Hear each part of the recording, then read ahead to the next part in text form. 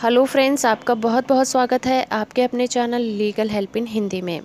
Friends आज के इस वीडियो में हम बात करेंगे सुप्रीम कोर्ट के एक अहम जजमेंट के ऊपर, जिसमें कि दिवाली के पटाखों की बिक्री के ऊपर सुप्रीम कोर्ट ने फैसला सुनाया है। जिसमें सुप्रीम कोर्ट ने देश भर में पटाखों की बिक्री पर रोक नहीं लगाई है, लेकिन इसके लिए कुछ शर्तें ज़रूर लगा दी हैं। सुप्रीम कोर्ट ने ये जो तय किया गया है, डेसिमल, उससे ज़्यादा लिमिट वाले पटाखों की, फ्लिपकार्ट और अमेज़ॉन जैसी ई कॉमर्स वेबसाइट पर बिक्री को रोकने के लिए कहा है।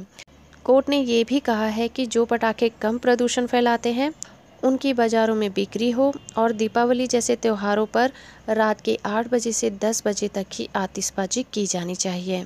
जस्टिस ए के सीकरी और जस्टिस अशोक भूषण की पीठ ने मंगलवार को 23 अक्टूबर 2018 को ये फैसला सुनाया कि क्रिसमस, न्यू ईयर और शादी जैसे मौक़ों पर रात को कुछ देर के लिए आतिशबाजी की जा सकती है।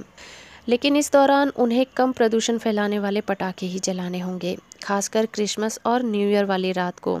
खासकर क्रिसमस और न्यू ईयर वाले दिन रात को ग्यारह पचपन से लेकर रात को साढ़े बारह बजे तक, यानी कि पैंतीस मिनट तक ही आतिशबाजी करनी होगी।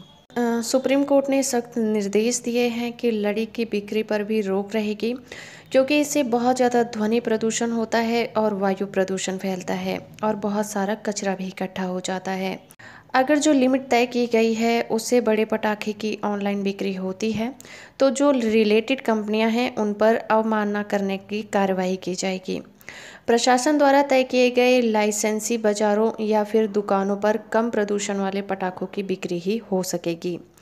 अगर किसी इलाके में जो प्रतिबंधित पटाखों की बिक्री होती हुई पाई जाती है तो इसका जिम्मेदार जो वहाँ का रिलेटेड पुलिस स्टेशन होगा, वहाँ का एसएचओ होगा।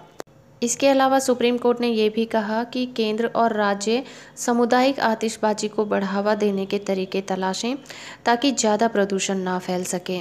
इसके लिए जो स्पेशल जगह होंगी, पहले से तय की जाए और उसके बारे में पब्लिक को जानकारी दी जाए कि कहाँ पर सार्वजनिक आतिशबाजी की जाएगी और वो सब दिवाली से पहले होना चाहिए। केंद्र और राज्य के प्रदूषण नियंत्रण बोर्ड दिवाली के सात दिन पहले और सात दिन बाद तक प्रदूषण का स्तर देखेंगे और उसे रेगुलेट करेंगे। सुप्रीम कोर्ट ने पिछले साल अक्टूबर में तीन बच्चों की याचिकाओं पर दिल्ली एनसीआर में पटाखों की बिक्री पर रोक लगा दी थी। दिल्ली में रहने वाले तीन साल के अर्जुन गोपाल, तीन साल के आरो भंडारी और पाँच साल की जोया राव भासी ने अपने माता पिता और वकीलों के ज़रिए याचिकाएँ दायर करके दिल्ली में पटाखों की बिक्री पर रोक लगाने की मांग की थी। दिल्ली एनसीआर में पटाखों पर बैन के फैसले के बाद उसके पक्ष और उसके विरोध में याचिकाएँ दायर हुई थीं। इन्हीं पर सुप्रीम कोर्ट ने याचिकाकर्ताओं और पटाखा निर्माताओं और, केंद्रीय प्रदूषण नियंत्रण बोर्ड की दलीलें सुनने के बाद 28 अगस्त को फैसला सुरक्षित रखा था। सुनवाई के दौरान कोर्ट ने कहा था कि स्वास्थ्य और कारोबार के अधिकारों के बीच संतुलन साधना बहुत ज़रूरी है। तो फ्रेंड्स, ये था आज का हमारा वीडियो सुप्रीम कोर्ट के एक अहम फैसलों के ऊपर, जिसमें कि उन्होंने दिवाली के पटाखों पर अपना जजमेंट सुनाया। उम्मीद करती हूँ आपको ये वीडियो पसंद आया होगा। अगर आपको ये वीडियो अच्छा लगा है तो आप इसे लाइक करिए शेयर करिए।